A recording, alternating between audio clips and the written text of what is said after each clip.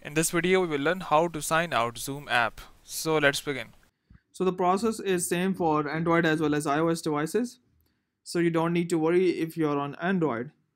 Uh, first, make sure that you are connected with the internet. And once connected with the internet, simply go and open up your Zoom app. Here we go. And if you're signed into your account, you would be able to see your account by tapping on settings at the right bottom so tap on settings. At the top you can see your name and underneath you can see your email initials. So it means that you are signed in with your account on zoom app on phone. So if you go and tap on this account uh, this name at the top this would open up your profile. Now if you scroll down below at the bottom you can see sign out. And if you want to sign out uh, from your Zoom app on phone, simply go and tap on sign out. And here you can see you have signed out of your Zoom app on mobile phone, either Android or iPhone.